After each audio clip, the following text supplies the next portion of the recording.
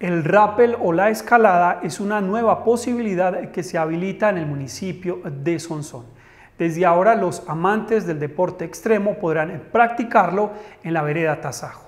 El rappel es utilizado en excursionismo, montañismo, escala en roca, espeleología, barranquismo y otras actividades que requieren ejecutar descensos verticales. El rappel también es utilizado en rescate, tanto en los medios naturales como en los urbanos, así como en operaciones militares.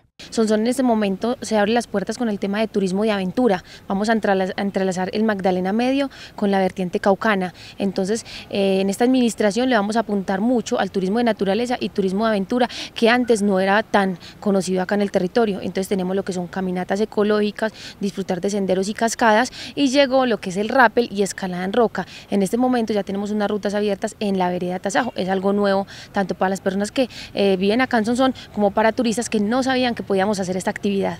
Estamos empezando con el tema de la escalada eh, y, y el turismo extremo aquí en Sonsón. Eh, justamente porque no se conocían los temas de que podíamos hacer descenso en rappel, de que podíamos ascender una roca acá en el municipio. Entonces eso es lo que queremos mostrarle a la gente, invitarlos, que lleguen, les ofrecemos el servicio de, de que es un rappel, que es descender por cuerdas, que es un deporte extremo y y entonces invitarlos, llevarlos a que hagan la experiencia en un día o si quieren ya aprender el tema más técnico y el tema de escalada con su proceso, invitarlos también a que formemos escuela y podamos hacer todo el proceso, todo el acompañamiento desde cero.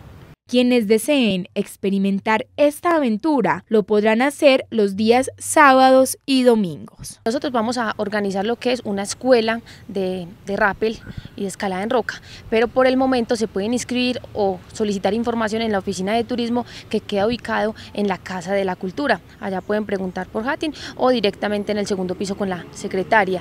Si vamos, estamos organizando un tema de costos, porque eh, cuando uno hace esta actividad tenemos que tener una póliza de seguros que es demasiado importante para este tipo de actividad porque es de alto riesgo y también el transporte que cubriría de la zona urbana hasta llegar a la vereda Tasajo que es donde inicia el recorrido. En este momento lo tenemos proyectado por 80 mil pesos por persona para que cubra todos los gastos que se dice, igual como un pequeño refrigerio pueden ser desde los 8 o 10 años, eh, porque se manejan en el deporte ciertos niveles.